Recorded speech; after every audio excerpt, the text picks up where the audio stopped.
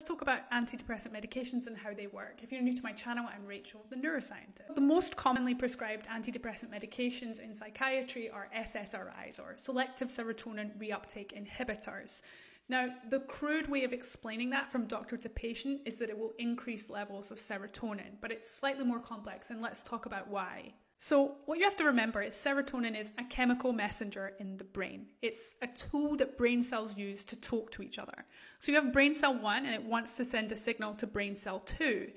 It releases serotonin, and that serotonin will sit between these two brain cells in the synaptic cleft and it can act on receptors on brain cell 2 and elicit all sorts of different mechanisms. Serotonin is very complicated. Now, the serotonin that remains between those two brain cells will be collected up and repackaged for another day, let's say. What SSRIs do is they delay that process.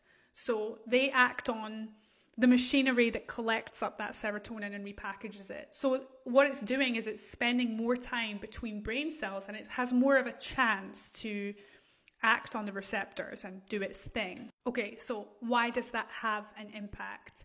Researchers used to believe it's because serotonin has a direct impact on mood regulation. More recent studies suggest that it might be something more complicated. Serotonin certainly is involved in mood, but it's involved in everything in the brain. It does everything. It's also a neuromodulator, so it will change the activity of brain cells. It's involved in plasticity, meaning the building and strengthening of synapses. We know, for example, from studies that many people who meet the diagnostic criteria for depression have normal levels of serotonin. Depression isn't a deficiency of serotonin, and so we think that maybe it might be related to mechanisms of plasticity. That would explain why, in the patients who see a benefit to SSRIs, there's still a delay period between starting a medication and seeing that benefit. The truth is, though, there's a lot that we don't know about how those antidepressant medications actually improve symptoms for folks who have depression. We just know that they work for roughly 50% of patients.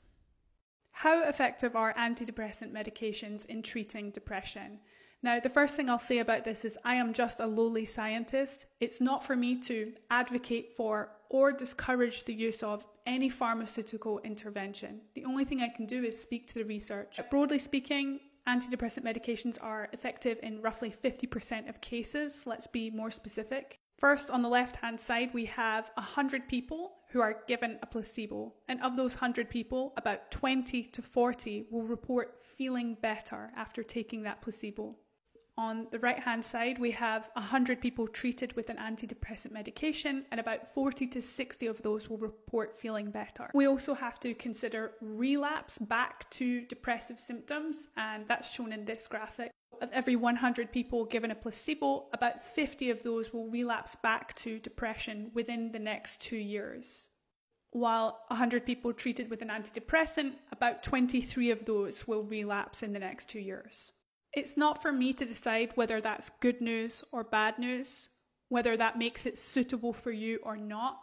It's absolutely a conversation between you and your doctor and a decision that you should take for yourself.